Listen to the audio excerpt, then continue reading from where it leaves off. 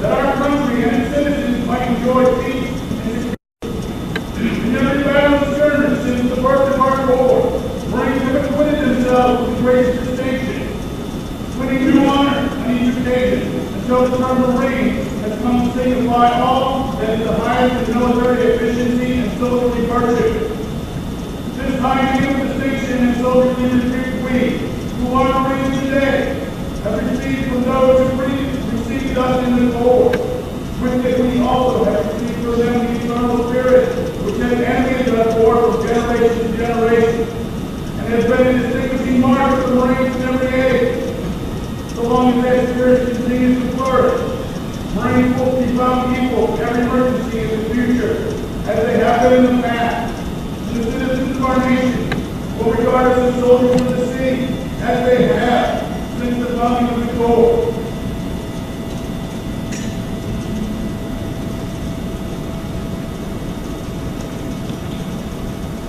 The inspiring message of our 13th Commandant has left its mark in the hearts and minds of all Marines.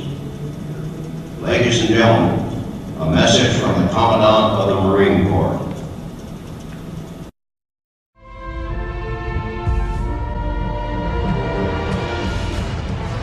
There was a time when many of us older Marines wondered if the current generation had what it took to carry on a heroic warfighting legacy forged over more than 200 years. Would they be able to endure the harshness and the rigors of combat?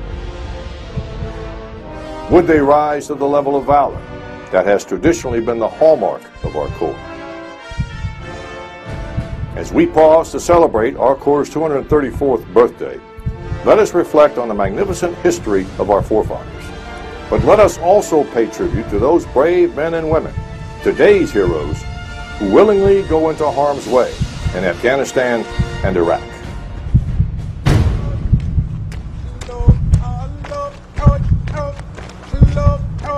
Get off my bus! Being a Marine is not for the weak. I'll tell you that. We don't join the Marine Corps to go to college. Let's go! Move fast! We don't join the Marine Corps to make a lot of money. Move fast! We join the Marine Corps because we want to be the best. Passing through these hatches symbolizes your transformation from a civilian to a United States Marine. You will pass through these hatches one time and one time only. Do you understand? Yes. Our distinction is our ability to endure hardship, and, and that's ingrained immediately from when you step into boot camp.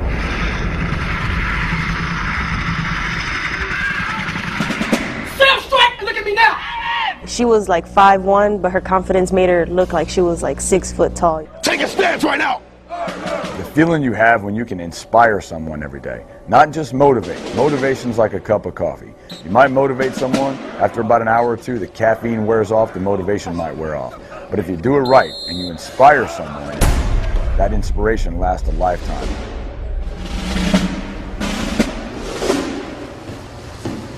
And I remember my first impression was if the Marine Corps is full of people like this and leadership like this, I made the right decision to join the Marine Corps.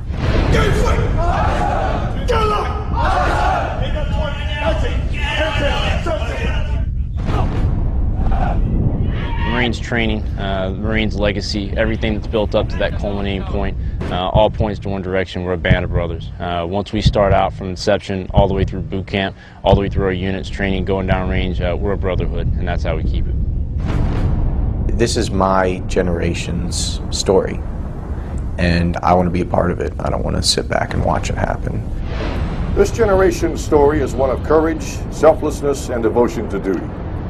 In just one example, on April 22, 2008, two young Marines, Corporal Jonathan Yale and Lance Corporal Jordan Haerter, were standing guard at an entry control point in Ramadi, Iraq, when they added their heroic story to the legacy of our Corps. It was about 0730. I had just got off post, and Lance Corporal Haerter relieved me. Him and Corporal Jonathan Yale were able to stop an explosive-laden vehicle just short of the gate. The Iraqi police that was at the post with him, he runs. Yet they stand and fight. One more second, we could all been dead. The truck negotiated the serpentine at a high rate of speed. The driver was hit numerous times and he realized he was not going to make it.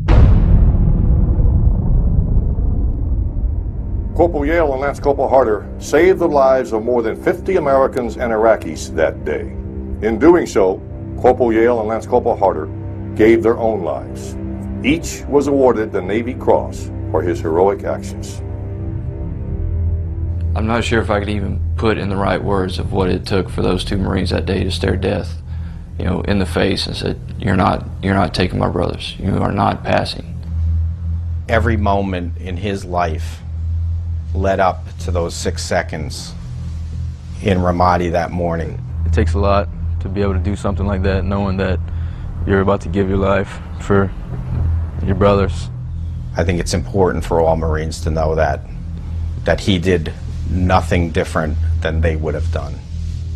I'm super proud of him for for doing that, and I know um, I know in my heart that he wouldn't have had, any other choice. That day, we didn't lose just two Marines. We lost two brothers. I think that's what really makes the Marine Corps special. Is yes, you're a Marine, but once you serve side by side with another Marine, you're brothers.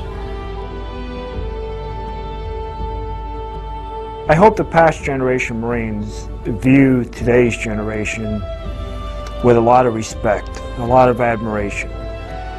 Growing up as a young boy, I read their exploits, and it inspired me to want to be a Marine.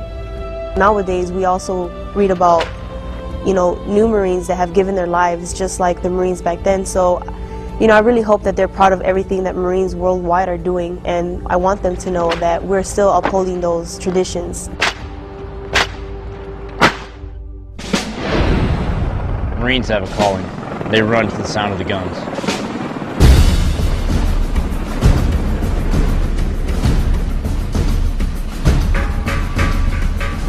Today's Marines are still the same as any Marines of the past. The Marines I've served with still have the same heart, the same courage, the same semper fidelis uh, as uh, the Marines I served with 20, 25 years ago when I first came in.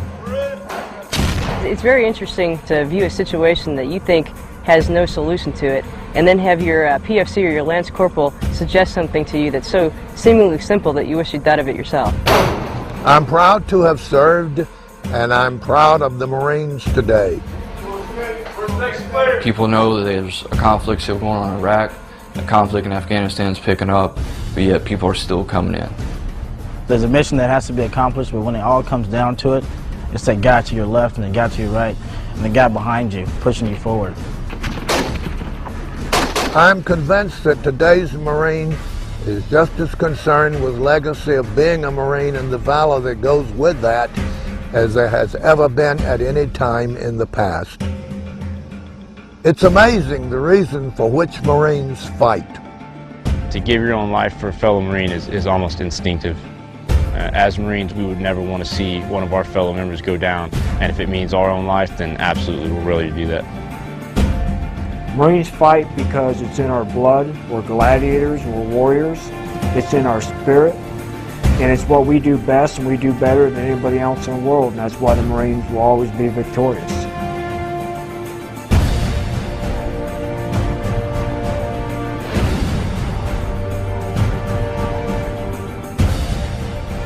From each generation, an elite warrior class emerges to defend our nation.